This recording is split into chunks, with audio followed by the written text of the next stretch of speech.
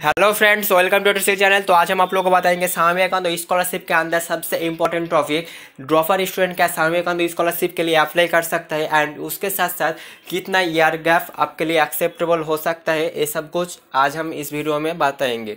तो ऐसे ही वीडियो आपको मिलता रहेगा और उसके साथ साथ फ्रेश एंड रिन्यूअल एप्लीकेशन का करने के लिए क्या क्या डॉक्यूमेंट्स आपको अपलोड करना होगा, ये सब कुछ आपको इस वीडियो पर ही मिल जाएगा। तो ऐसे वीडियो पाने के लिए मेरे चैनल के साथ बने रहिए सब्सक्राइब करके और नोटिफिकेशन बटन भी ऑन करके रखना कि आपको मेरे चैनल का सारे वीडियो मिल जाए। तो मैं एट फ़र्स्ट आप लोग बताऊँगा ड्रॉपर स्टूडेंट्स को लेकर। तो ड्रॉपर स्टूडेंट्स के अंदर कौन कौन आता है? 2021 के अंदर ये सब कुछ आपको डिटेल्स में बताऊँगा। तो देखो ड्रॉपर स्टूडेंट्स के अंदर जो लोग आता है, जिसका ten plus two equivalent exam और हायर सेकेंडरी एग्ज़ाम का जो पासिंग ईयर होना चाहिए वो टू होना चाहिए मतलब उसका higher secondary exam and U G on और यू जी फ़र्स्ट ईयर के अंदर डिफरेंस होना चाहिए सिर्फ़ वन ईयर मतलब वन ईयर गैप होना चाहिए। फिर जाके वो अप्लाई कर सकते हैं एंड वो अप्लाई एक्सेप्टेबल होगा एंड उसके साथ साथ उसको पैसा भी मिलेगा। एंड उसके साथ साथ डॉक्यूमेंट्स अपलोड करना होगा। तो डॉक्यूमेंट्स को लेकर मैं थोड़ी देर बाद आप लोगों को डिटेल्स में बताऊँगा। एंड उसके साथ साथ जिसका लैटरल एंट्री हुआ है डायरेक्ट यू जी टू में, वो भी अप्लाई कर सकता है। एंड उसका लैटरल एंट्री के टाइम उसका अगर वन ईयर गैप हो जाए तो वो भी एक्सेप्टेबल है। तो मैं जो अभी अभी आप लोगों के साथ ड्रॉपर स्टूडेंट्स को लेकर बात शेयर किया, या अगर आप फाइव नंबर पॉइंट पढ़ते हो तो आपको ये क्लियर हो जाना चाहिए। इसके बाद और एक डाउट होता है, ये जो डॉक्यूमेंट है, ये डॉक्यूमेंट हम कहाँ से बनाए? इसको कैसे प्रिपेयर करना होता है? इसको लेकर भी बता दीजिए। तो देखो, आप लास्ट जहाँ से ten plus two equivalent exam और एच एस एग्ज़ाम पास किया हो और क्वालिफाई किया हो, उस स्कूल का हेडमास्टर से भी आप इसको बना सकते हो। एंड उसके साथ साथ B D O S D O and any group A officer से भी आप जो है, ये डॉक्यूमेंट बना सकते हो। डॉक्यूमेंट्स में क्या लिखा होना चाहिए, ये भी हम अभी आप लोगों को डिटेल्स में बताएँगे। यहाँ पर आपका नाम से लेकर सब कुछ, आपका डिटेल्स रहना चाहिए। एंड उसके साथ साथ आपका ईयर गैप होने का रीज़न क्या है, ये सब कुछ भी आपको लिखना है।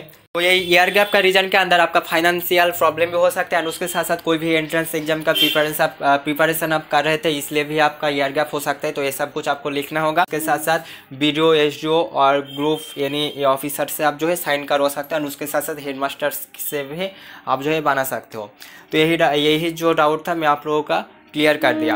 एंड उसके साथ साथ अगर आपके पास गैप सर्टिफिकेट है आ, किसी कोर्स से करवा आ, किसी कोर्स से अगर आप किया था गैप सर्टिफिकेट तो वो भी आप जो है अपलोड कर सकते हो बट आपको ध्यान में रखना है वन ईयर का ही सिर्फ़ एप्लीकेबल है तो ये आपको ध्यान में रखना है। एंड इसके बाद आते हैं डॉक्यूमेंट्स क्या क्या अपलोड करना होगा जिसके लिए फ्रेश अप्लाई जिसका फ्रेश अप्लाई है एंड उसके साथ साथ रिन्यूअल अप्लाई है। फ़र्स्ट फ्रेश अप्लाई करेगा उसके लिए बोल देते हैं। देखो मार्कशीट ऑफ़ माध्यमिक एग्जामिनेशन और it's equivalent both sides marksheet of last board counselling university और college examination both side admission receipt income certificate of family Kanyashree के लिए एप्लीकेबल नहीं है एंड उसके बाद आपका आईडी प्रूफ जैसे कि डोमिसाइल सर्टिफिकेट के जैसा जो काम करेगा। जैसे कि Aadhaar ID voter ID ration card और certificate issued by any officers group officer से भी आप ये करवा सकते हो। एंड इसके बाद scan copy of bank passbook first page containing account number and IFSC code इसके बाद जो ड्रॉपर स्टूडेंट्स के लिए, ये तो मैं क्लियर कर दिया आप लोगों के लिए। एंड इसके बाद जो लोग डॉक्यूमेंट्स अपलोड करेगा रिन्यूअल एप्लीकेशन के लिए, उसके लिए तो ज़्यादा डॉक्यूमेंट्स नहीं लगते। आप सभी को मालूम भी होना चाहिए तो आप लोग स्क्रीन पर ही देख सकते हो।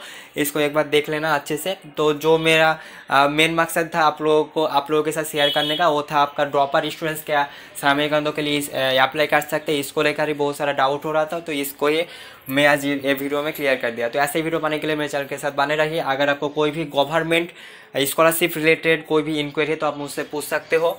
तो चलो फिर नेक्स्ट वीडियो मिलते हैं थैंक्स फॉर वॉचिंग बाय